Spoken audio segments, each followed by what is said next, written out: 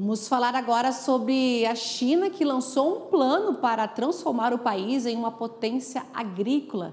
Então, quem conversa comigo agora é Marcos Vinícius de Freitas, que é professor visitante da Universidade de Relações Exteriores da China. Professor, boa tarde, bem-vindo. Boa tarde, é um prazer conversar com você hoje. É todo nosso, viu, professor Marcos? Agora, a meta é manter, então, a produção anual aí de 650 milhões de toneladas de grãos. Como o senhor analisa esse projeto agrícola chinês? Eu acredito que nos últimos anos a China tem tentado aí buscar autossuficiência com relação àquilo que ela pretende atingir a, com relação ao seu mercado doméstico, particularmente na questão da produção agrícola. Obviamente, nós sabemos que a China enfrenta todos os problemas associados também a uma quantidade mais reduzida de terras aráveis, montanhas, desertos, o que impede que ela tenha aí um nível elevado de produção comparado, por exemplo, àquilo que nós temos no Brasil, na Austrália e no Canadá, por exemplo. Mas o que nós vemos é que tem sido um esforço do governo chinês no sentido de uh, reduzir a, a sua dependência, talvez, de alguns produtos ou da importação, particularmente considerando a, a situação geopolítica atual e a pressão que os Estados Unidos podem exercer sobre determinados países para a, não venderem produtos à China. Então, nós vemos que esta é uma busca a, que eles têm tido. Eu me lembro, a, por exemplo, que eles conseguiram intensificar em muito a produção de arroz por hectare. Eu me lembro que eles estavam fazendo projetos de aumentar até mesmo na parte de animais, de porcos, por exemplo, a aumentar o peso do, do, do animal para que você tenha aí outros tipos de ganho na produtividade. Então, esta iniciativa não é a primeira vez que o governo e o Partido Comunista Chinês têm falado sobre isso, particularmente levando em consideração que uma das características da China tem sido sempre o planejamento de longo prazo. E esse planejamento para alimentar aí bilhões né, de pessoas né, lá, lá na China. O senhor falou em relação a, a, diminuir um pouco essa dependência aí dessa importação, mas queria avançar mais um pouco. O terreno, áreas para fomentar a agricultura.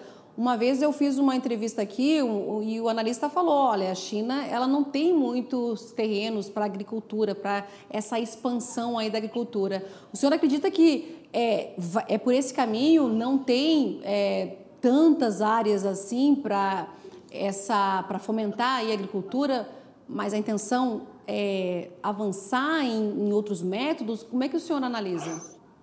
Bem, uma das coisas fundamentais é justamente o aumento da produtividade pela, por hectare. Né? Então, ah, eu me lembro muito claramente disso, que me parece, eu não sei se agora os números estão precisos, mas, por exemplo, na questão do arroz, a produtividade, se não me engano, era de 300 quilos por hectare, e aí eles conseguiram atingir ali, depois de muito tempo e muito esforço, mais ou menos uma tonelada por hectare. Então, é você aproveitar o máximo possível as áreas que existem, a tentar restaurar, e isso faz parte do, do plano, tentar restaurar áreas que perderam a sua capacidade produtiva para que elas possam voltar a produzir e, quem sabe, expandir o território naquelas áreas que são viáveis, mas levando em consideração também não somente o aspecto da autossuficiência, mas a, a questão econômica.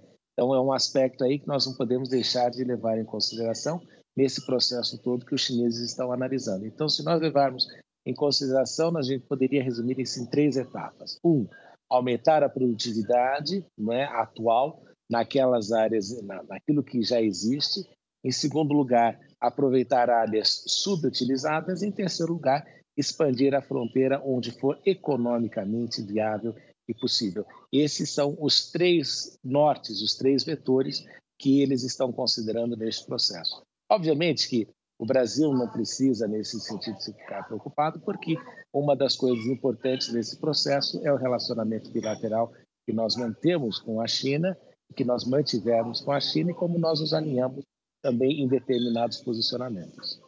Tá certo. Professor, então o senhor citou aí o arroz, mas quais seriam outros produtos que seriam priorizados aí para essa base da agricultura? Ah, não há dúvidas que são aqueles que estão inerentemente ligados a alimentação chinesa, não é?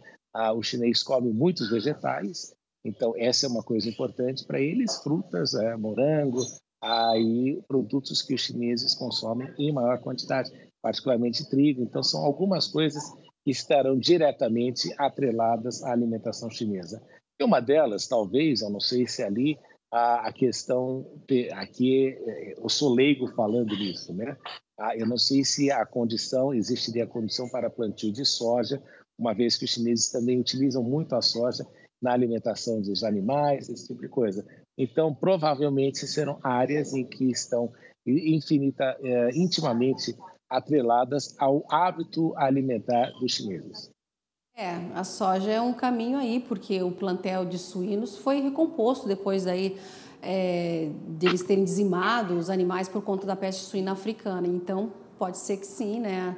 Ah, não só arroz, soja, milho, enfim, para alimentar os animais, já que eles é, estão recompondo aí, conseguiram recompor o plantel é, de suínos. Agora, a intenção é fortalecer então, a agricultura por meio da ciência e também tecnologia, né, professor? Criar centros de pesquisas, experimentos, aí como a gente tem aqui é, é, experimentos de cultivares para monitorar também pragas. Tudo isso é um pacote que pode também ajudar?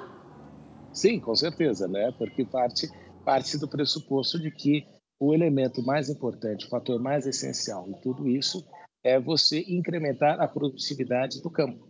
Ah, e com esse incremento da produtividade no campo, você consegue atingir objetivos que são importantes ali ah, do ponto de vista de diluir um pouco da dependência externa da China. Porque veja só, não podemos deixar, não podemos ah, nos esquecer que nós estamos vivendo um período complexo ah, internacionalmente, do ponto de vista geopolítico, nesse confronto entre Estados Unidos e China.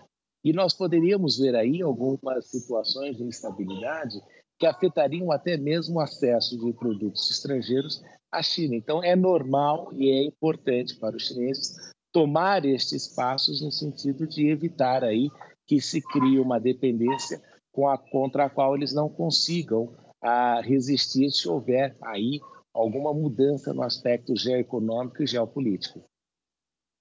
Aí, geoeconômico, é, diminuir a dependência aí da China, como o senhor lembrou, aumentando a, a produtividade deles. E também a gente não pode deixar de falar que tem que também atender as demandas do mundo, né, professor, que espera uma agricultura mais sustentável. A gente tem é, isso fortemente cobrado do Brasil, mas também o mundo olha também para outros setores, né, uma agricultura mais sustentável para mitigar os efeitos aí de gases de efeito estufa, não é?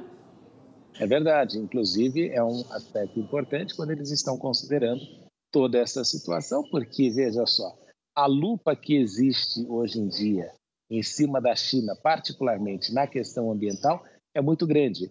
Então, certamente, a China, que vem aí num processo de reposicionar-se como uma potência global e como um, importante jogador no tabuleiro global, tem que levar em consideração esses inúmeros, aspectos, esses inúmeros aspectos relacionados, inclusive, à questão da sustentabilidade. Então, por mais que venha neste processo todo, eu não tenho dúvidas de que haverá, por parte do governo chinês, uma preocupação também com essas questões, para que não atraia sobre si uma crítica internacional muito maior em cima daquilo que eles têm feito nos últimos anos. Professor, a meta, então, como eu já disse, é de uma produção anual de mais de 600 milhões de toneladas de grãos. O senhor falou que o Brasil não precisa se preocupar e o Brasil é um grande parceiro comercial dos chineses. Em março, agora, o presidente Lula tem uma viagem marcada aí para a China. O que, que, o senhor acredita que essa missão brasileira ela deve avançar nos negócios aí bilaterais para manter e até subir um pouco as nossas trocas comerciais? Eu acredito que o presidente Lula fez aí uma estratégia errada, né? Eu colocaria como a China o principal parceiro econômico do Brasil, a China é que deveria ter constituído a primeira visita do presidente da República nesse processo todo. Então acho que aí houve um equívoco de pegar e visitar a Argentina e depois Estados Unidos e a China em terceiro lugar. Mas é importante que o governo brasileiro tenha muito claro que pretende alcançar deste relacionamento bilateral e pensar bem naquilo que pretende a aproveitar desta reunião com o presidente Xi Jinping, que tem tido ali um papel muito importante na consolidação da China como potência mundial. Então, esse é um aspecto relevante. Eu acho que o governo brasileiro não pode querer somente levar esse discurso político, muito parecido com aquilo que aconteceu na visita a, a, aos Estados Unidos, do qual pouco se extraiu de efetividade naquilo que foi prometido, naquilo que, se foi, que ficou comprometido.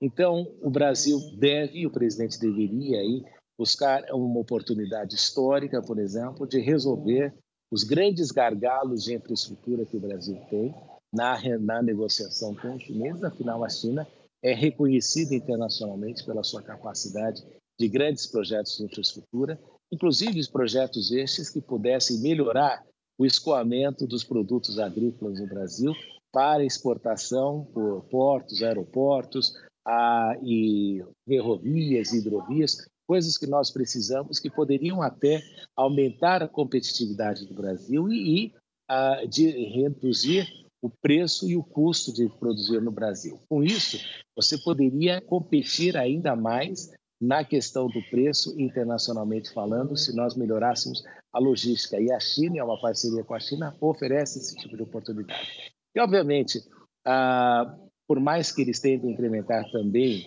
a questão da produtividade no campo, não podemos esquecer que uma das coisas que o Brasil vende para a China é proteína. E proteína é baseada em três aspectos, que é sol, água e terra. Três coisas que nós temos em abundância e que na China, apesar de ser o terceiro maior país do mundo, ah, não tem